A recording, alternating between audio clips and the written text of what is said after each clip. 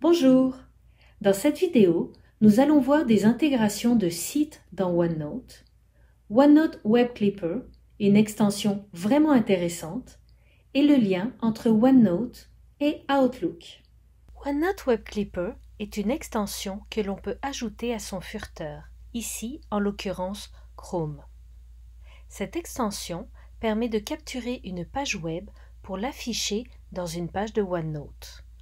Cette extension est fort utile pour les recherches. Ainsi, même si l'on change d'outil numérique, il sera possible de retrouver nos recherches, ce qui est moins aisé avec les signés de Chrome. De plus, le visuel du contenu de la page capturée demeure, alors qu'un signé dans un furteur ne contient que le titre. Il existe plusieurs modèles de capture. Par exemple, cette page-ci est intéressante et je souhaite l'ajouter dans un bloc-notes. Il s'agit de cliquer sur l'icône de l'extension et ensuite je vais avoir le choix entre une zone, en sélectionnant juste une zone à capturer, l'article, le signé ou la page entière. Il s'agira ensuite de choisir la destination, c'est-à-dire le bloc-notes dans lequel on souhaite que la page se retrouve, et de capturer.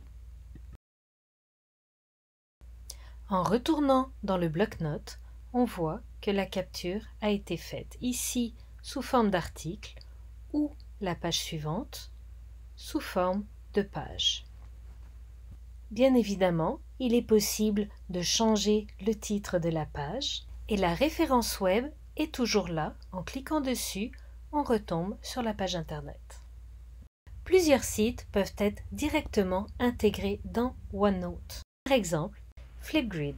En copiant et collant le lien de la grille de Flipgrid, elle est directement intégrée dans la page.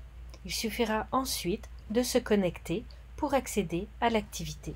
Il est même possible d'intégrer un questionnaire Forms à l'intérieur d'un bloc-notes en copiant et collant le lien de partage. De la même façon, une présentation interactive faite avec Genially peut être intégrée dans le OneNote tout simplement en copiant et collant le lien de partage.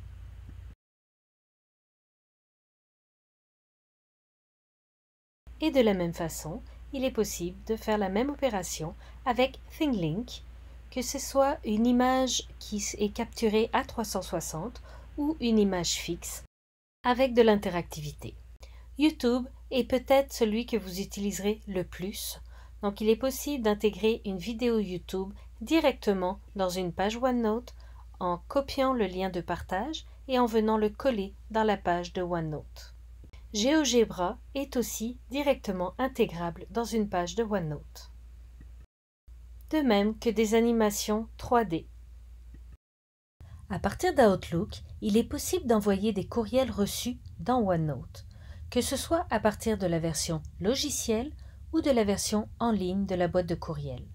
Ainsi, si vous avez un bloc-notes dans un dossier particulier dans lequel vous consignez vos réflexions, vos ressources, vous pourrez inclure les courriels en lien avec ce dossier. Choisissez le bloc-notes et la section de destination.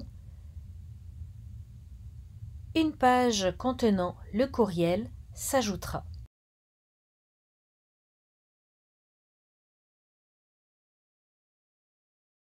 Si vous utilisez Outlook en ligne, c'est la même chose. Vous sélectionnez votre courriel, cliquez sur les trois petits points de débordement, choisissez OneNote.